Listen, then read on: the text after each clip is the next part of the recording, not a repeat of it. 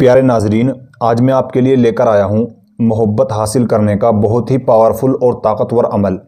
आजमाया हुआ अमल है और सिर्फ़ पाँच मिनट का अमल है। अगर आप किसी से सच्ची मोहब्बत करते हो या सच्चा प्यार करते हो, या फिर किसी को अपने वश में करना चाहते हो, या आप किसी से अपनी पसंद की शादी कराना चाहते हो, आपको कोई रुकावट आ रही है, उसे दूर करना चाहते हो तो आप इस अमल को ज़रूर करें, क्योंकि बहुत पावरफुल अमल है और ताकतवर अमल है।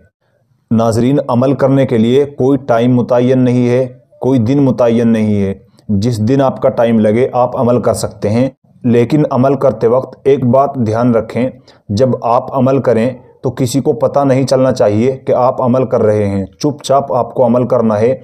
अगर आप किसी को बताएँगे या फिर आपको अमल करते हुए कोई देख लेगा तो ये अमल काम नहीं करेगा। इसलिए आप अकेले में अमल करें और बिल्कुल चुपचाप अमल करें, किसी को न बताएँ। नाजरीन, अमल करने के लिए आपको दो लहसुन की गोली लेनी है, दो लहसुन के जवे लेने हैं और एक सुई लेनी है, बारीक वाली।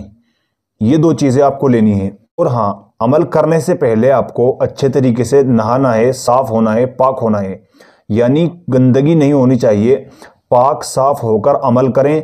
अगर आप गंदगी के साथ, यानी नापाकी की हालत में, या फिर कपड़े नापाक होने की हालत में आप ये अमल करते हैं तो फिर ये अमल काम नहीं करेगा। इसलिए आप नहाकर अच्छे तरीके से पाक होकर फिर अमल करें। यानी गुसल वगैरह करके आपको ये अमल करना है। और जब आप अमल करने के लिए बैठ जाएँ, सबसे पहले आपको देख लीजिए स्क्रीन के ऊपर एक वर्ड लिखा हुआ है, या वदूदू।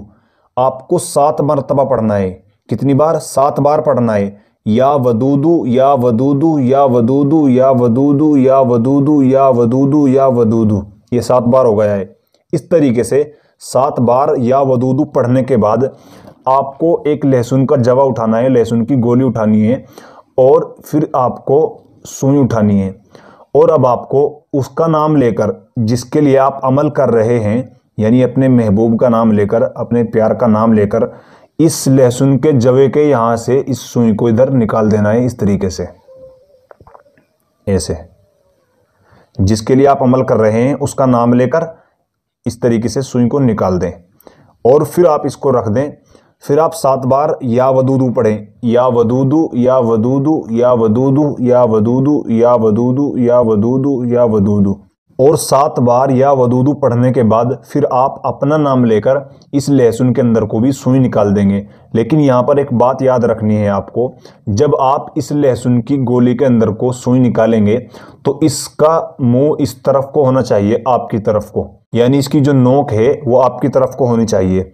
और जब आप अपना नाम लेकर लहसुन की गोली के अंदर को सुई निकालेंगे तो फिर इसकी नोक दूसरी तरफ़ होनी चाहिए। और अपना नाम लेकर इस तरीके से सुई इसके अंदर से निकाल देनी है। ये देख लीजिए इस तरीके से।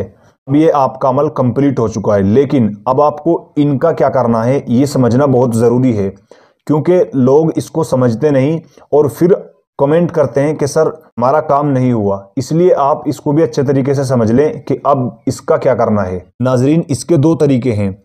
या तो आप इसको कहीं चलते हुए पानी में डाल दें। याद रहे, चलता पानी होना चाहिए और साफ़ पानी होना चाहिए।